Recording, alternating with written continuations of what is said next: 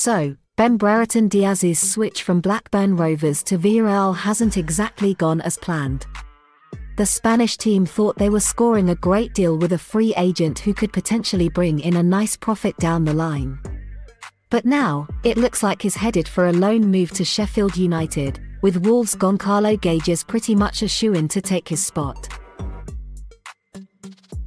According to Thursday's issue of El Periodico Mediterráneo, the loan to Sheffield United is set to be finalised this week. The catch is, the Yorkshire club won't have the option to buy him at the end of the season. So, if he ends up being a hit, they'll have to go back to the drawing board and start negotiations from scratch to keep him.